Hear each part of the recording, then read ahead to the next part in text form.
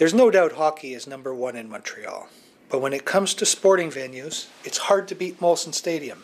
Throughout this past winter and spring, the stadium on the south face of Mount Royal has been undergoing a $30 million expansion. Last winter's mild weather helped. The expansion project has come in on time and on budget. Overall, 5,000 seats have been added, including 3,800 on the south side of the stadium. There are still some finishing touches to be done, but the stadium is ready to go for Saturday's exhibition game against the Toronto Argonauts and the official home opener, July 22nd, against the Hamilton Tiger Cats. The most notable change is this new upper deck. It has its own new concourse behind it with its own new concessions and washrooms. The other area of the stadium that has changed is on the eastern flank of the north side, where a new section of seats has been added, and in the east end zone where new permanent seats have been installed. With 25,000 seats now, Molson Stadium will retain its characteristic intimacy, so popular with local fans. The original Molson Stadium was built in 1919. Its official name is Percival Molson Memorial Stadium, in honor of Percival Molson, a member of the Molson brewing family, who died in France during the First World War. But in its long history, only one Grey Cup has been played there, this was in 1931. The Cup winners that year were the Montreal Amateur Athletic Association's Montreal Winged Wheelers.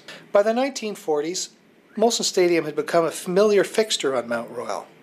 It was a smaller stadium then.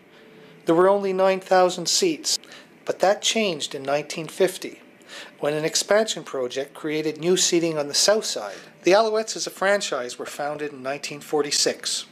They played their first eight seasons at Old Delorimier Stadium in the East End and didn't move into Molson Stadium until 1954.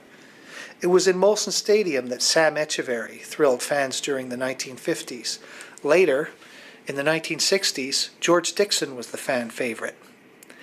They moved out of Molson Stadium in 1968 to the old Autostade, which was built near the Victoria Bridge for Expo 67. 1976 was Olympic year in Montreal, and after the Summer Games ended, the Als moved into the new East End Stadium. Fans filled the Big O to capacity in the late 1970s to see such players as Sonny Wade and Peter Dalla Riva, and Gordon Judges and Junior Ayu.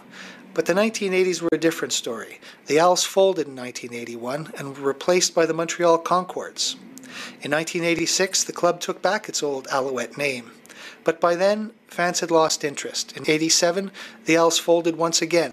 They returned in 1996, this time when owner Jim Speros moves to Montreal after the failure of the Canadian Football League's American expansion. Crowds were thin through the 1996 and 1997 seasons at the Big O until something remarkable happened. A scheduling conflict at the Big O involving the Irish rock band U2 left the Alouettes with nowhere to play a playoff game against the BC Lions. Faced with few options, the club returned to Molson Stadium. But the stadium was in terrible shape. Symbolic of the state of disrepair was a tree that had started to grow up through the seats on the north side of the stadium. Workers had to drill temporary plywood bench seating into the concrete bleachers for that first homecoming game. But fans loved it.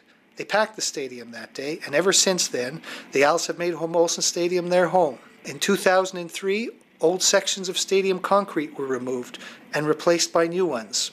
And a new kind of artificial turf, called field turf, was also installed. Today, the Alouettes are heading into the 2010 season with 95 consecutive sellouts at Molson Stadium under their belts.